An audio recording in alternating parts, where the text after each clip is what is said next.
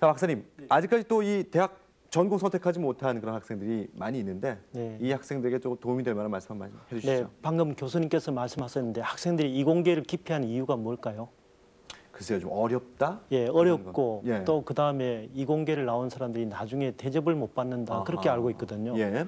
근데 이제는 자기가 어떤 노하우랄까 자기만의 영역이 없, 없는 분들은 나중에 어떻게 존립이랄까 그럴 수가 없거든요. 그래서 음, 어떤 학과 출신이든 간에. 네, 네. 이공계 출신들은 자기 나름대로 영역도 있고 음. 거기에 경영이랄까 그런 쪽을 알면 굉장히 좋을 것 같습니다. 음흠. 마침 이와 관련해서 교육인적 자원부에서 운영하고 전국 대학들의 모임인 대학교육협의회에서 대학 입시 박람회를 12월 초에 하거든요. 네. 이런 데 가보면 각 대학과 각 학과에 관해서 종합적인 정보를 얻어서 아직도 결정을 못한 학생들이 굉장히 도움을 받을 수 있다고 그렇게 생각됩니다.